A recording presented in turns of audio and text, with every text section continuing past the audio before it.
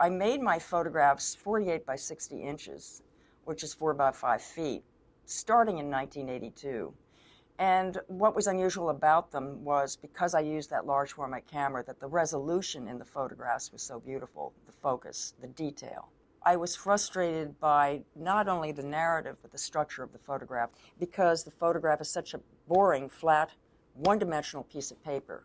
It's very difficult to create space and scale. That's when I started directing the people in the pictures. I knew I wanted my photographs to be about family.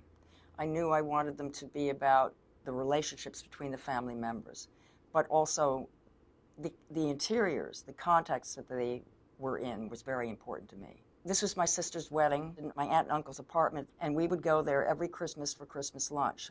So I knew this apartment well. It was part of my life, part of my history, part of the tradition of our family. And it just was very quick that I took this picture. She happened to get up, perfect moment. This is in seconds. Now I have a tripod, a heavy camera. I'm carrying four by five film backs between my legs. I have to open up the lens to focus. I don't know that Jill's going to get up from that chair. I yelled to my half brother Paul, who's sitting in the chair, look at Jill and Andrea. Her back is to me. And uh, I learned from theater, you don't want the back to the audience, so I quickly yelled, Andrea, turn to the left. The part of the photograph I love the most, of course, is Jill. She's the star. And the gesture of her getting up from that chair is so beautiful. Not only her profile, but the designer dress, the transparency of the dress, the bag that's sort of clutched between her legs like a little nest, and the fact that the flowers are going through her hair. And then what I love more than anything are the lamps on either side of her.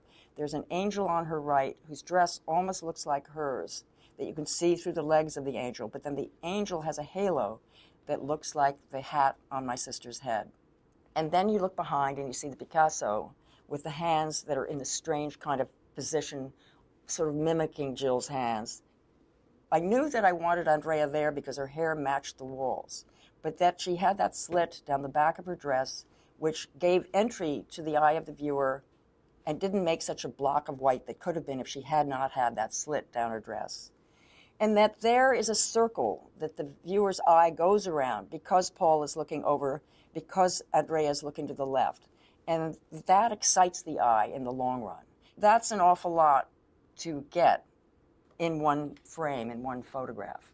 When I get the 4x5 contact back, I know immediately this is a winner. There's something very rewarding and exciting about having the ability to really look hard. And I always say, there is no way you can really stare at somebody, even if it's your mate or your family member, as close as you do as when you photograph.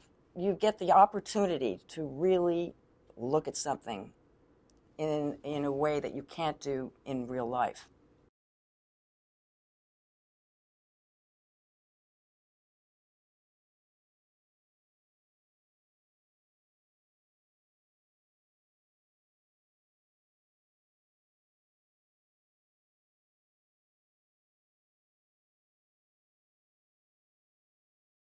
Within WayTKO. They have been small business entrepreneurs themselves. It makes it easier for small business owners to share their issues. You've got someone to go with you and to hold your hands all throughout the journey and to make sure your company is going to be sustainable. It gives you the confidence to really think big. It's like you've got